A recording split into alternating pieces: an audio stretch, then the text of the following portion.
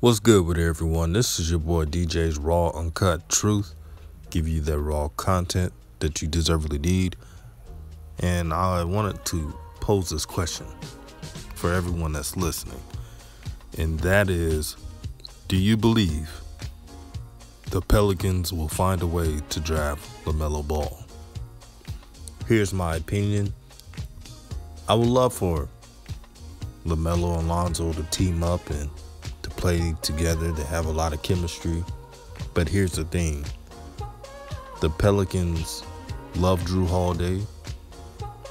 And even though Jrue is what 30, 31 years old, they want to keep him for the long haul. They have an emotional attach with Jrue Holiday. Now, Jrue Holiday is a great defender, very underrated as a player, and he's at his best when he focuses on defense and scoring. So I'm just putting that out there before anyone says I'm hating. I'm just giving my opinion. Um, the organization before the season said that they were trying to get Jrue Holiday the MVP in these awards uh, while you had Brandon Ingram seeing all that listening, and uh, putting in work. Because I'm sure that Brandon Ingram was telling himself, What about me? Instead of any fanfare or anything else from the organization, Brandon Ingram put in that work, and that's why he became an all star. It doesn't stop there with Jrue. Look at how the Pelicans feel about the other younger players like um, Frank Jackson, uh, Nah, aka Nickeil Alexander Walker. They rave about their games, even though they're not finished products. They're pretty much flash in the pan. They'll show you some good highlights here and there when things are going well. But like you saw in earlier in the season, when there was some uh, tough moments and some adverse situations, they they couldn't handle it, and uh, Nickeil had to go to the G League for a little bit to get that rhythm back. Uh, Frank Jackson sticked on to the roster, but played limited minutes. So you saw it then. Do the Pelicans have the draft capital to get LaMelo Ball? Of course. But I truly feel that they're not trying to draft LaMelo Ball at all. In my opinion, they need to get a stretch five. Um, someone who can defend multiple positions at the post position that can shoot threes. Uh, three and D player, of course. That's who I would want them to get. You have to remember, let's say they trade a lot of players and picks, and I don't imagine them trading Jrue. I just don't see it. And they get LaMelo. So you want LaMelo to play off the bench? I definitely don't want to see that. I'd rather him go to the Knicks than to see that. And that you know it's bad when I say the Knicks after they hired Tom Thibodeau that plays everybody max minutes to the to the tenth degree. Or the Detroit Pistons, which is a good fit for LaMelo. Um, you put LaMelo on that team, and I made videos on this. That's an automatic playoff team. You got Blake Griffin, you got Luke Kennard, who's a marksman shooter, Svi, marksman shooter. D Rose to come off the bench. Uh, Sekou, who is a promising young player who reminds me of Siakam from Toronto. And you have a veteran coach in Dwane Casey who has taken teams to the playoffs. So you have a lot working there.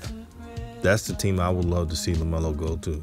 I know a lot of people don't like uh, the option of LaMelo playing for the Warriors. But if there's any team that I don't mind him coming off the bench, it's the Warriors. You talk about a team that has a lot of their stars in the early 30s. And so they're getting up there in age. And uh, they usually give their six man a lot of minutes, almost like starter minutes. So if there's any team that LaMelo can come off the bench and I'm not, and I'm cool with it, it's the Warriors. It's not the Pelicans or any other of those teams. I just don't see LaMelo going to the Warriors. The ball camp doesn't want to go there, I don't believe. And uh, Steve Kerr has beef with LaVar. So you know that's not going to work. So I'm to give a total breakdown of, of the teams I think will, will have a chance to draft LaMelo Ball. The Knicks, the Pistons, and then there will be a surprise team. It won't be the Pelicans. I think there's a surprise team that no one is reporting on. That if they're close enough to make a deal, they'll trade some assets to get him. Trust me, there's a surprise team. That's all I'm gonna say.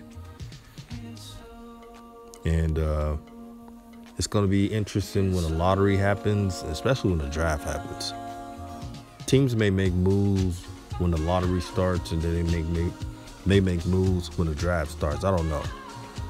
Uh, you know how the NBA is; they want theatrics, of course. But I'm telling you, that draft lottery is going to have a lot of ratings because we all want to know who wants who's going to have the first pick. I hope it's not the Warriors, since they're undecisive and they truly want to trade a pick. I don't believe in giving teams number one picks that want to trade it. Uh, I truly believe the teams that should get the number one picks are those who understand who they want. They have a losing record, of course, but they understand who they want to get. They're not undecisive. To go back to the Pelicans, um, their draft history is pretty lethargic. Look what they did last year. So they had the number one pick and the number four pick. They could have easily did this. After they got Zion, when they traded the fourth pick for the eighth and 17th pick, and then they had a second round pick at number eight, they could have got Cam Reddish. At number 17, they could have got Brandon Clarke from Memphis, who's doing well. And then the 31st, 32nd pick, they could have got Bol Bol. And remember, Bol Bol was picked 44th. The Pelicans would have hit all their weaknesses in one draft. But here's their problem. They were so happy that they got Zion, they got fancy. I heard some dumb like uh, David Griffin deserves uh, what GM or executive of the year. No way. You stockpiled the team with guards.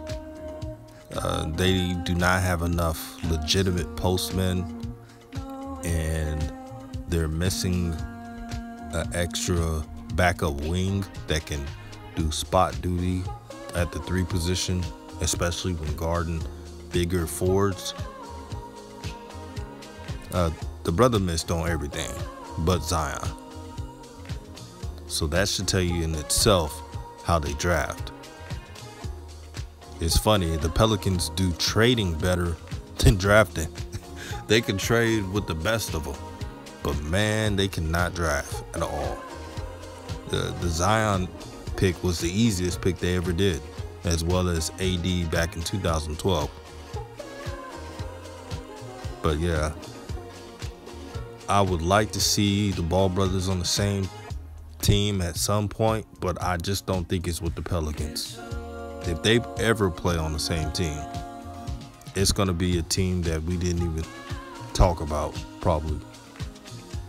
But just stating my opinion, all praise to the Most High Peace and love to everybody.